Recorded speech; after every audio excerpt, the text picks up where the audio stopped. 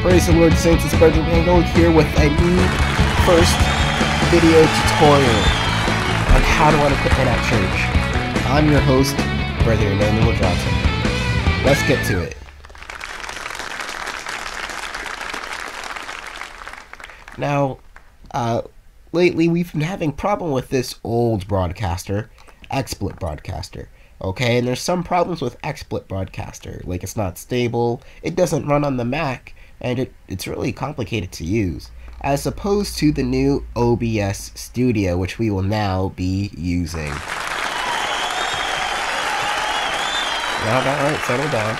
Alright, now OBS Studio stands for Open Broadcast Software. It's free. Uh, it also um, it's also PC and Mac compatible. So, say uh, we our Windows at Church crashes, then we also can just uh, use the Mac at church to go ahead and live stream.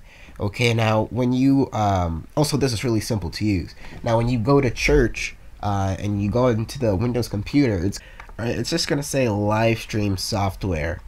All right, and so um, it's gonna look like this it's gonna have uh it's gonna have this uh little black circle looking thing on it and it's gonna be right in the middle of the screen just like so okay? So let's click on it and let's get started. Let's keep the video short and sweet. Shall we? I know you guys like that. Alright so let's get to it. Maximize the screen. Alright, so you guys may have some questions like, uh, well, how do you start streaming? How do you start recording? And how do you view the video? Because right now all I see is the logo. Well, it's pretty easy, okay? Now, on the right side, you have start streaming.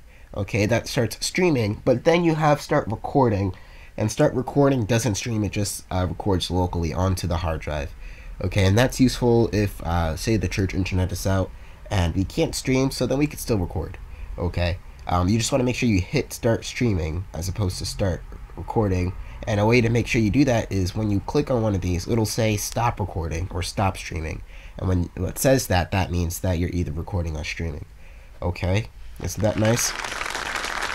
Alright, so here you have your scenes, okay? And basically the scenes are basically uh, playlists and uh, the playlist, alright? Just like how you have iTunes and you have the different playlists uh, these are also your different playlists, okay?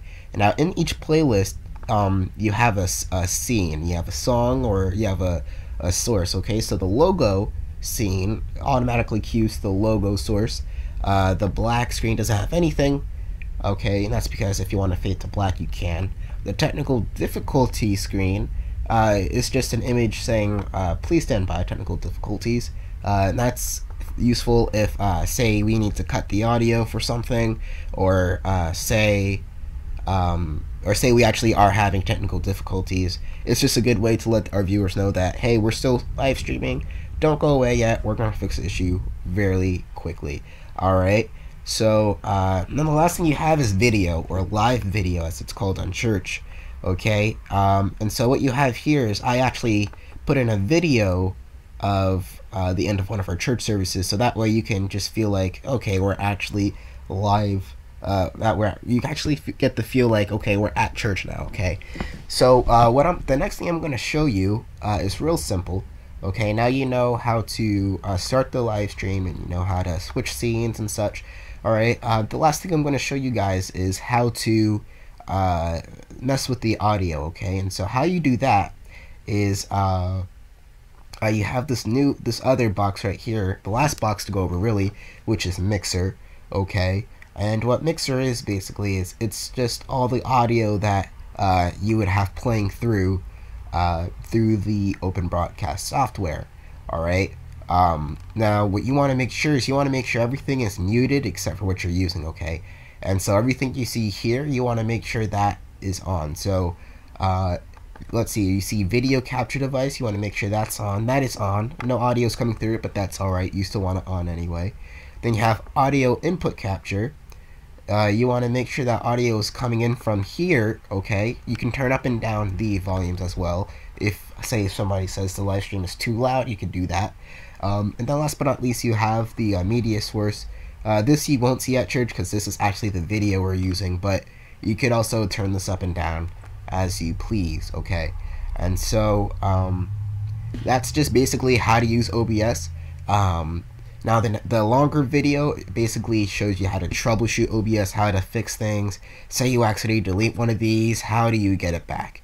Okay, and that's what that uh, next video is all about. So thank you guys for tuning in. Until next time, this is Brother Emmanuel Johnson here with a nice video on how to